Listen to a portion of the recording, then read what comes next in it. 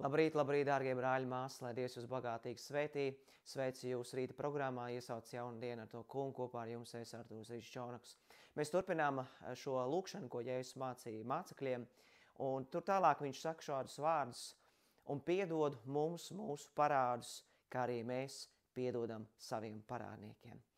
Un Bībele vispār patiesībā runā par piedošanu ļoti daudz, gan vecajā derībā, gan jaunajā derībā, jo Tad, kad mēs skatāmies uz krustu, tad, kad mēs skatāmies uz Dieva dēlu, mēs zinām, ka tas ir Dieva tēva mīlestības apliecinājums mums, ka viņš ir piedevis mums mūsu grēkus. Un ja Dievs ir piedevis mūsu grēkus, tad uh, mums pienāks piedot cits citam.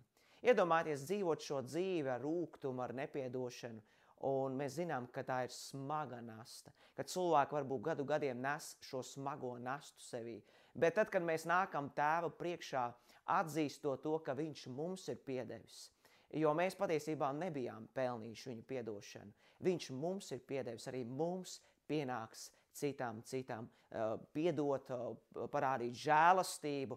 Un, uh, Tāpēc, ka Dievs parādīs žēlastību caur savu dēlu Jēzu Kristu. Viņš mums ir piedevis. Un Bībelē arī teica, ka ja mēs atzīstamies savos grēkos, tad tas kungs ir uzticams un taisns. Viņš piedod visus mūsu grēkus un šķīst mūs no visas netaisnības. Un tāpēc, ja es viņš saka šajā lūkšanā, piedod mums mūsu parādus, kā arī mēs piedodam saviem parādniekiem. Un reizē mēs varbūt arī nākam Tēva priekšā un tā arī mēs lūdzam, bet vai mēs esam gatavi piedot kādam, kas mums ir pāri darījis? Kas varbūt nav mūsu īsti sapratis, kas varbūt, uh, varbūt reizē mums ir ar cilvēkiem uh, bijis kāds konflikts un mēs neesam sapratuši viens otru.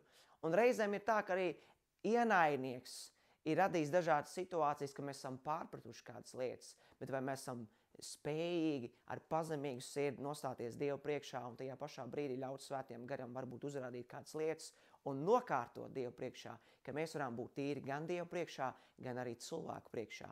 Tāpēc Dievs tēvs mums ir piedevis, mums viņš ir parādījis žēlastību, viņš mūs ir sauc par saviem bērniem un tajā pašā laikā mums ir jāstaigā ar tīrām sirdīm, ka mēs esam gatavi arī piedot cilvēkiem, kas mums ir pārdarīti. Atgādini to, ka Dieva vārdā ir teikts, ka Dievs caur savu dēlu Jēzu Kristu mums ir piedevis.